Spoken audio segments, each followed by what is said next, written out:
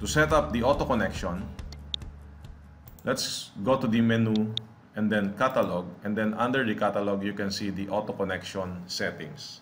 Auto default settings is also can be found here. Okay, so at the moment, let's choose the auto connection settings. All right. So under this auto connection settings, there are uh, some default settings here, but of course we can create our own uh, settings if we don't like to, to use the default one. So all you have to do is to right click and then new rule group.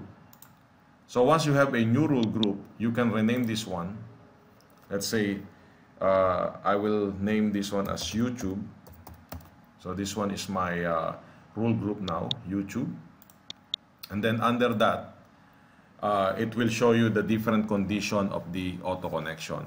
So the auto connection has uh, uh, six condition, beam to beam, beam to beam web, beam to beam flange, beam to beam, uh, beam to column web, beam to column flange, beam splice, and column splice.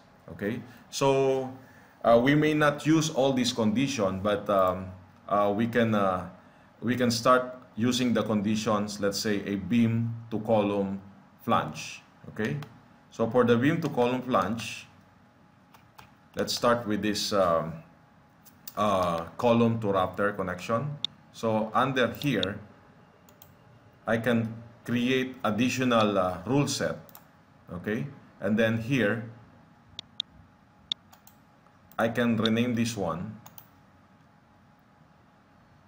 or let's let me edit the rule set of this one. After you create a new rule set under the beam to column flange, edit the rule set, and then here you can add the name here. Let's say uh, uh, column to rafter. This is the column to rafter connection, and then we can set up the rules here. So the rules is uh, uh the available rule here are uh, by name, by depth or by profile, by material, and so on. At this time, we're going to use the uh, uh, rules by name. So if the primary part name, so what is the primary part name? The primary part name is this column. Okay, so all I have to do is to move that one to the right side. So the first rule is if the primary part name, the exact value is, then we'll type here column. Okay. And then the uh, secondary one part name, we have here secondary 1 and secondary 2 because sometimes if the uh, connection is uh, uh, two sides connection, so you must have a secondary 1 and secondary 2. So at this moment, we have only secondary 1, which is secondary 1 part name, and then the secondary 1 part name is a rafter. So if you don't want to type, just simply click the rafter here and then copy and then paste, paste here. Because it's very important that you have a correct spelling on that one. If not, then it will not work. So I, I will just simply click OK.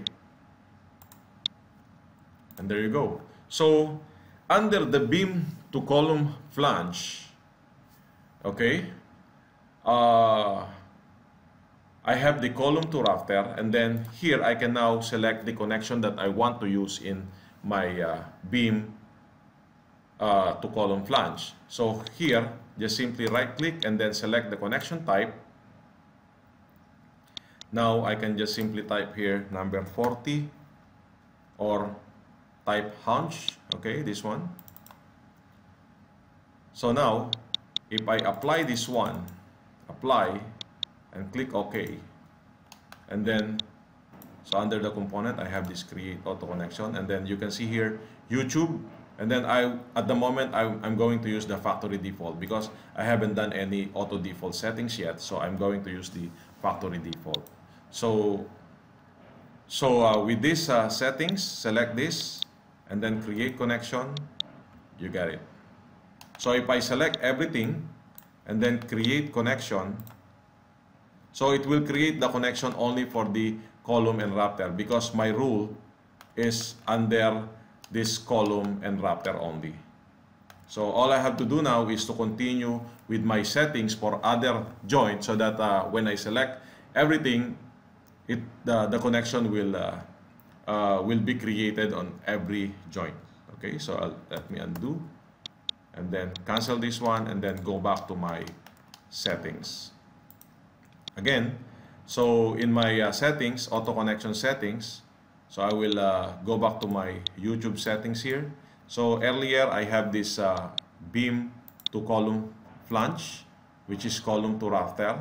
So let's say this time I, I can still uh, work on this uh, column to uh, beam to column flange, but now I can again create another rule set and this time I will uh, change this to column to girder. Okay, so same rules. Primary part name, column, and then prime secondary part name, girder. Okay, and then click OK. So now I, I need to choose the connection here. So let's say my connection is a uh, clip angle or 1 for 1.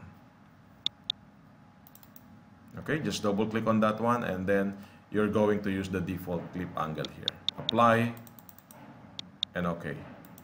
So before I move forward, let me just show you how it works. Again, this time, uh, uh, if you notice, I have already the, the setting for the uh for the rafter and column and now this one is rafter and beam. So I'm going to select these two. Go to my component again. Create connection. Then here YouTube. And then create. So as you can see here the column to uh, the beam to column web doesn't create any connection but this clip angle is created here. Okay? So again undo and let me continue on my rules so that's or how you create the auto connection settings. Okay? So by simply setting some creating some rules. Again going back to catalog auto connection settings and then YouTube. So this time I will choose the column to beam to column web and then right click create additional rule set right click edit rule set and then if the primary part name and secondary part name so primary part name is beam uh, is column and then the secondary part name is beam and then here this one will be column to beam. Okay? And then click OK choose connection double click. Then type here 187 double click on 187 and then apply. And okay. Now again I want to try again. Select this component create connection create connection here and then you have now this three connection automatically comes out. Alright actually if I select everything here create connection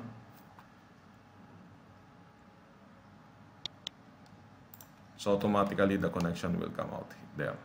But the thing is, they have the, the same uh, setup for the connection. Even the size is different, then they have the same number of bolts. So uh, that case, the auto default will handle that situation.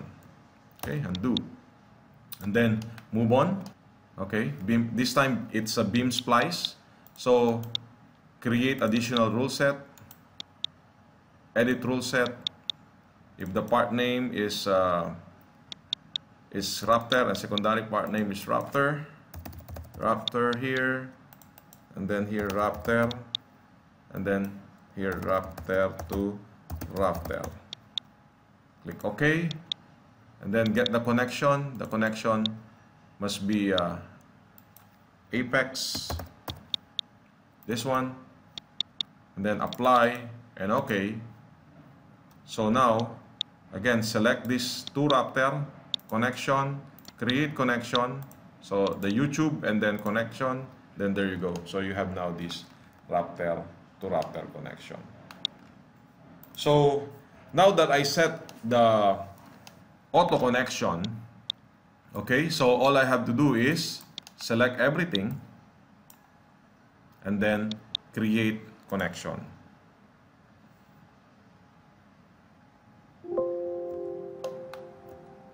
Alright, so here, as you can see, I have all the connection to each joint. And then I don't need to go to each and every joint to add this connection.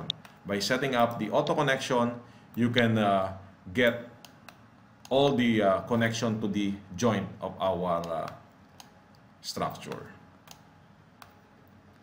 Okay, so this is how to create or how to set up the auto connection.